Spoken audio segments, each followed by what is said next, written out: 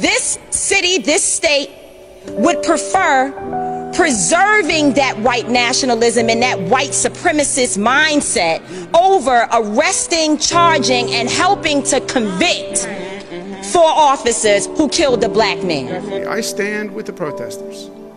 And I think all well meaning Americans stand with the protesters. Witnesses say the African American man on the ground, identified as George Floyd, repeatedly cried, My neck hurts and I can't breathe. Please, please, I can't breathe.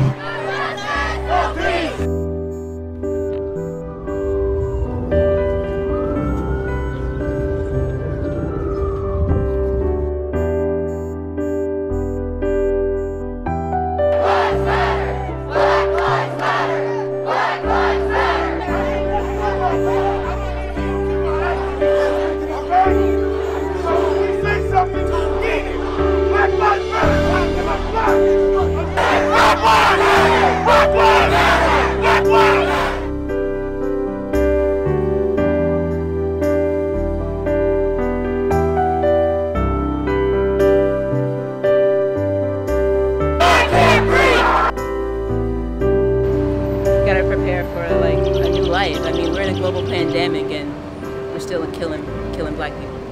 Enough is enough. Like I've sat home so many times and it's just it's just too much now.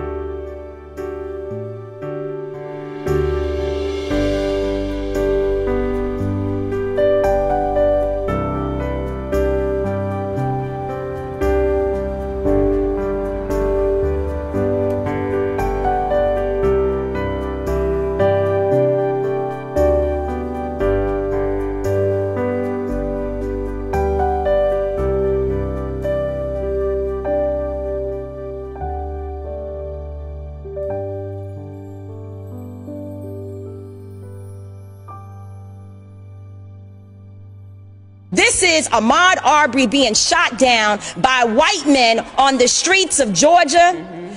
Breonna Taylor being killed in her home. Black people are dying in a state of emergency. The reason why buildings are burning are not just for our brother George Floyd. Enough is enough. And we are not responsible for the mental illness that has been inflicted upon our people by the American government, institutions, and those people who are in positions of power. Arrest the cops. Charge the cops. Charge all the cops. Not just some of them, not just here in, Min- in Minneapolis. Charge them in every city across America where our people are being murdered. I stand with the protesters.